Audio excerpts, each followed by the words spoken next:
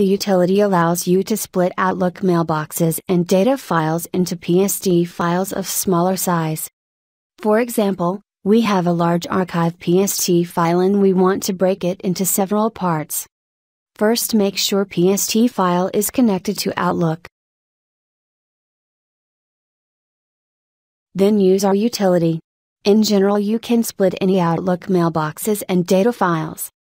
Specify the connected PST file to be split. Specify the folder on your disk or network share for resulting PST files. Specify the maximum size of the generated PST files.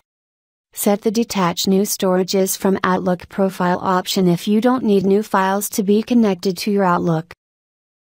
Run the tool and wait until it finishes.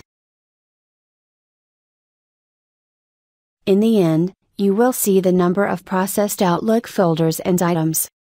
The utility left original PST file intact, so you can detach it from Outlook.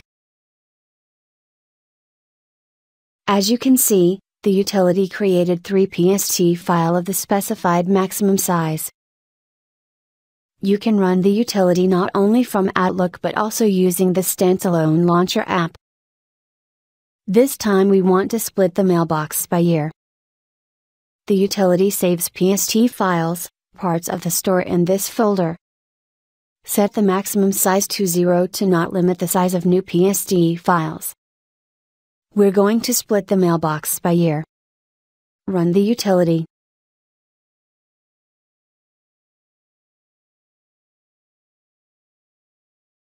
Please note that the tool split our mailbox by year. Now let's open the Outlook and see what we've got. This time new data files appear in Outlook. Let's look at the size of the new files with the help of Storage Report utility. This utility generates report on all of the available Outlook stores. Run the utility.